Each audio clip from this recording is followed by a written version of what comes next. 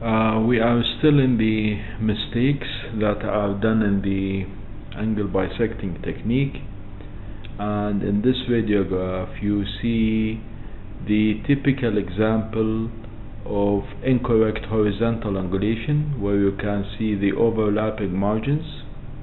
And this is because of the uh, failure to align the beam uh, with the buccal surface of teeth and thus the x-ray did not enter between the teeth uh, so it ended up with overlapping. This is the first problem. The second problem is that there is a marked elongation of the teeth and this is because of the uh, uh, of directing the beam uh, perpendicular uh, on the plane of teeth or reduction in the angul uh, vertical angulation the third problem is the cone cutting on the uh, canine area. And the last problem is the increased uh, distance or free margin between the occlusal surface of teeth and the uh, free margin of the film which ended up in the uh, uh, uh, cutting off of the apices of teeth and this has been of course aggravated, aggravated by the uh, elongation. If the teeth, if the vertical angulation was increased, uh, uh, the teeth will appear shorter. There is a chance to grab the uh, uh, image of the apices of teeth. Another radiograph where you can see cone cut, elongation,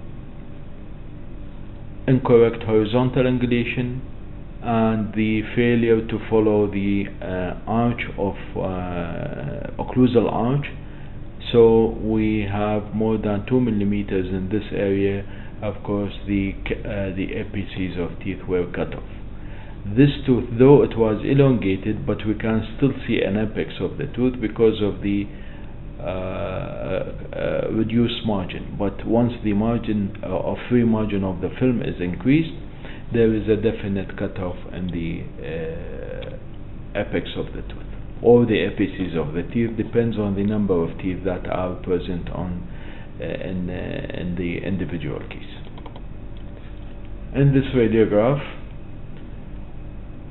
uh, the film was well below the uh, occlusal margin and not only the apex of the teeth actually half of the tooth or the teeth is cut off.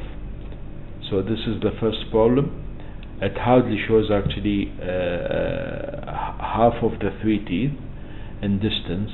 The second major problem is the apparent elongation. This is due to reduced vertical uh, elongation I mean of the uh, of the images so this is due to the uh, reduced vertical angulation. So this is a total uh, use totally useless uh, radiograph.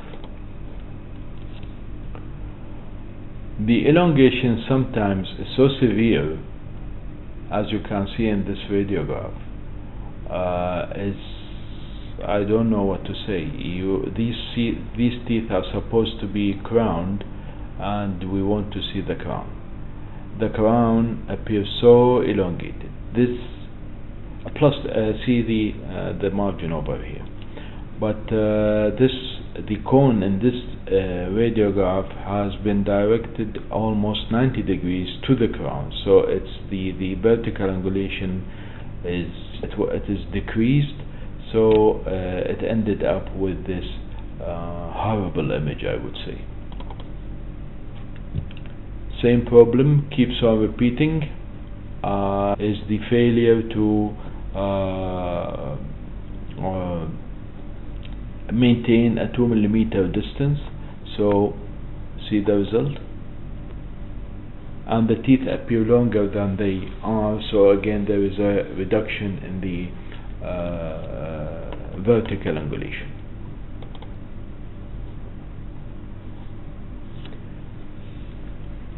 please make sure that when you take a radiograph ask the patient to close.